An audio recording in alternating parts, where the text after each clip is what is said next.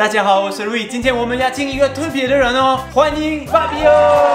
Hello，大家好。Fabio，我今天很开心跟你一起拍影片。我第一次听到你的名字，就是我的女朋友跟我说，哎，Louis，你知道这个法国人是谁啊？这么帅哦，他叫法比哦。我这反比又是谁呀、他跟我介绍的在台湾很有名的，全部的台湾人都知道？反比又是谁，所以那时候觉得我一定要拍一个影片，台湾人知不知道？反皮又然后发现大家都知道 Fabio。我妈妈看到这个影片，她以为我付钱给你拍这个影片，因为我真的看到这个影片，我说很很开心，也很惊讶，就我很开心，今天我们也可以一起拍这个影片，嗯，那 Fabio，你现在住在台湾多久？快九年。我快两年。Après toutes ces années à Taïwan, il y a encore quand même pas mal de choses auxquelles on n'est pas habitué et des choses qu'on adore, qu'on aimerait pouvoir ramener en France. Je t'ai invité aujourd'hui pour qu'on puisse discuter un petit peu de tout ça. C'est parti Ah putain yes Un grand moment J'ai fait c'est parti avec Fabio Pour commencer, on va parler des choses auxquelles on n'est toujours pas habitué à Taïwan, mais qui sont des choses positives. Moi j'aime beaucoup la nature. Taïwan c'est pas très grand, donc c'est très facile de partir un week-end dans le centre de Taïwan, euh, l'est, l'ouest ou le sud. Et c'est vraiment les- la, la beauté des paysages, que ce soit sauvage. T'as des plages qui sont désertes. Là par exemple, je viens de, de faire un road trip avec mon van. J'étais avec ma mère. Ouais. On est allé vers Taïdong. Et les paysages, ça m'a fait penser à Hawaï. T'es dans l'eau, t'attends la vague, t'as la montagne. C'est des paysages magnifiques. Et ce qui me surprend, c'est que moi, avant de venir à Taïwan, j'avais jamais entendu parler de la beauté de Taïwan. La diversité aussi des paysages. Quand tu voyages là, t'as tu as toujours le côté euh, sécurité. J'allais te le Ouais. dire, j'ai pensé, je dire. Attends, maman, il faut pas. On a Lire, on va lire. Ah, c'est pas grave, Oui, on Tu crois qu'on fait quoi? Oh ben oui, on s'en met. Un autre truc qui me surprend toujours, même après deux ans, c'est à quel point les Taïwanais sont des bons hôtes. Et un exemple qui m'est arrivé il y a pas longtemps, c'était à Meishan il y a quelques semaines. On avait loué un super beau homestay, tu vois, avec la vue euh, sur la vallée, qui était très sympa, tenu par un couple adorable. Et ils ont pas l'habitude d'avoir des étrangers. Et ils nous ont offert une bouteille de vin français, ils nous ont ouvert euh, une bouteille de bon alcool japonais, ils nous ont offert un, cocktail maison. Et c'était juste de, de bon cœur comme ça pour échanger, pour passer un bon moment. Et je sais pas, ça m'est jamais arrivé en France euh, en voyageant quelque part. Différence avec la France, Ouais. l'administration. Je suis rentré en Ouais. France une fois, ma carte marchait pas, il fait un problème. Je vais à la banque, je dis voilà, je suis en vacances, j'ai ma carte qui a un problème, je voudrais la changer. D'accord, ben on va faire envoyer tout ça et puis peut-être d'ici 2-3 semaines. Je dis non, mais je suis là pendant une semaine, comment je fais? Ah bah Ah, monsieur, ben, ça va être compliqué là. Vous savez, c'est l'été, hein, là le système. Oui. Alors que tu vas à. Taïwan, tu vas à la banque, Sors, tu 20 vas, minutes après, voilà, tu ressors avec euh, la carte. Tu te dis, mais pourquoi c'est pas aussi simple? Il y a aussi, voilà, après quelques années à Taïwan, ces habitudes de culture qui sont un peu difficiles à mettre en place pour nous. Alors moi, la première chose, c'est de ne pas dire bonjour en public. Dès que tu dis bonjour, les gens ils te regardent comme si, comme si c'était bizarre de dire bonjour. Alors qu'en regardent France, tu vas à la boulangerie, tu dis pas bonjour. Bah, c'est rien, là. Voilà, ils te savent même pas. Je vois par exemple quand je vais à un boulot, un shooting, personne qui te dit bonjour. Hello.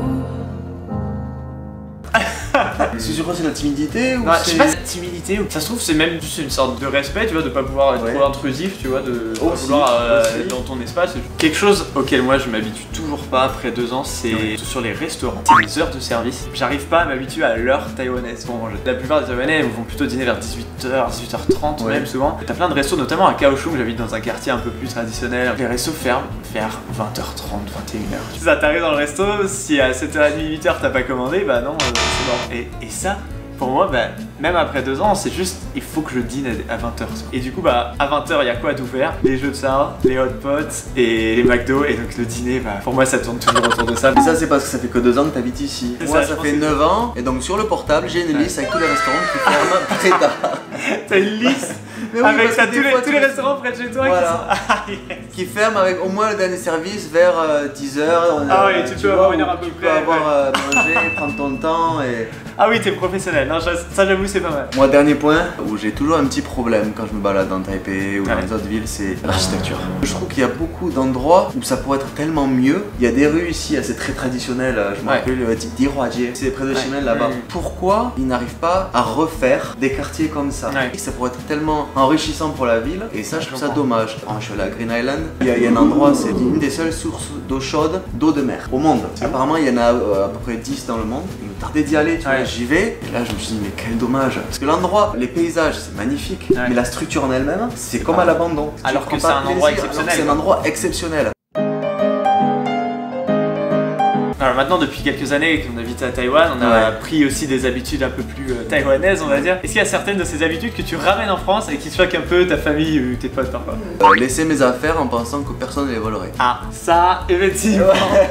Il y a quelques années, je rentre en France, c'est les soldes. Je vois une, une Ouais. veste qui me plaît à moins 50%. Je Ah, bah c'est un, Voilà, c'est un c'est- bon deal c'est. Je la prends, je la pose à un endroit, je regarde un t-shirt, je me retourne et bien. C'est ah, parti. c'est elle, voilà, elle est partie pour quelqu'un d'autre. Et là, je demande les caméras. Non, non, c'est pas possible, ça marche pas. Il y a des caméras. c'est pas Les grave, caméras, ça marche génial. pas. Et puis bon, c'est-à-dire qu'à Taïwan, Ah, euh, je vais au 7-Eleven, je laisse mon sac de sport sur le, sur le Ouais. scooter. Ça me vient même pas l'idée qu'il y ait quelqu'un qui puisse me voler les affaires. Et moi, c'est vrai que quand je reviens en France, je Ah, famille ça, me ouais. dit Mais tu n'es pas à Taïwan, Ouais, tu es ouais. en France, fais attention à tes affaires, pense à tes affaires. Bah moi de mon côté, tu sais à Taïwan les gens te jugent pas trop, surtout sur la façon dont tu t'habilles. Si tu t'habilles en survêt ou quoi alors que tu fais pas de sport, personne va dire bah dis donc euh, tu peux faire un effort, t'en Ouais. fais mal ou quoi. Mais rien que si je vais déjeuner avec mes parents, juste si je descends, je suis en pantalon de jogging et en vieux t-shirt, ils vont dire bah oui euh, tu peux faire un effort quand même. euh. tu fais quoi là? Mon père il va être en polo, un petit pull et tout, bien habillé tu vois. À Taïwan, on se laisse plus aller. Tu Mais moi, du coup, parce que voilà, j'aime, j'aime euh, m'habiller en costume, mettre euh, une cravate. C'est parce que voilà, c'est un bio, tu vois. tu mets le costume et ils te disent euh, T'es à un mariage Eh, Non, non. Même au mariage, ils mettent pas Ah, même de au costume, Ah, hein, bah, justement. c'est vrai. Non, mais voilà. Une fois, Ouais. j'arrive à un mariage, c'était l'ami d'une amie. Ouais. Je pensais que j'étais le marié. Mais attends, j'arrive, tout le monde est en jogging, en polo, et là, même le marié il vient me voir et il me dit Putain, t'es mieux habillé que moi Je voulais pas te. Mais là, Bah, attends, vas-y, j'enlève un bouton là, attends, je vais un peu ma veste Donc vraiment, pas le même délire, la façon de s'habiller à Taïwan en France.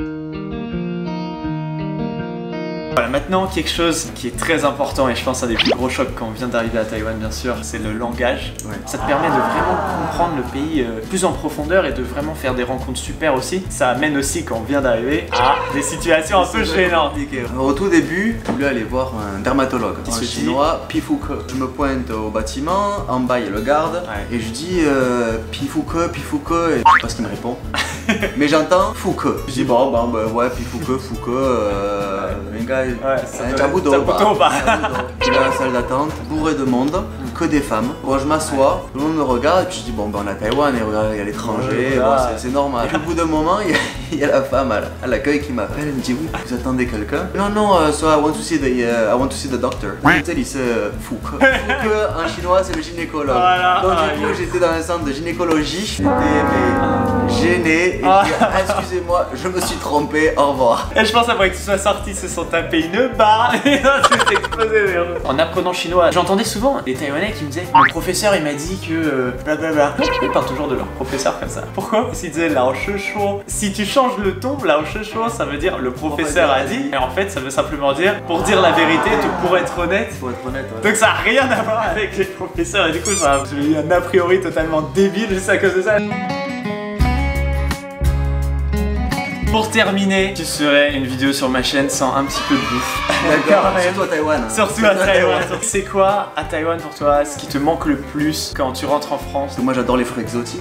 Ouais, ça. Et c'est pour ça qu'aujourd'hui j'ai pris la mangue la taïwanaise. mangue Belle Tellement sucrée. Celles-ci sont toutes petites et ultra Oh là sucrées. là, le goût qu'à Taïwan, j'adore la mangue. Là, c'est la pleine saison. Mm. Des fois, tu as chaud, tu vas prendre une mangue au ping. Ah, ça c'est Ouais, ça, c'est- délice. Elle est bonne la mangue alors Non, c'est- Après, ce qui me manque vraiment en France, c'est des fois, tu es à la maison, tu as envie de manger, tu pas envie de faire la cuisine. Tu veux un peu de ça, un peu de ça. Ouais. À Taïwan, tu vas là, tu, tu as, le fried chicken, tu peux aller acheter des fruits, Ah. tu peux aller acheter une pizza. Si t'as envie d'un truc spécifique, tu peux l'avoir pas loin de chez C'est toi. À peu près n'importe quand en général. Ah, n'importe. Ouais. Et alors, toi, quand tu rentres en France, Alors. qu'est-ce qui te manque le plus Un des seuls trucs que je cuisine à la maison, parce qu'il y en a des surgelés, donc que je mets sur une poêle, c'est le tsung topping. Ah Et, oui, euh, d'accord. J'en mange trois fois par semaine, je vraiment.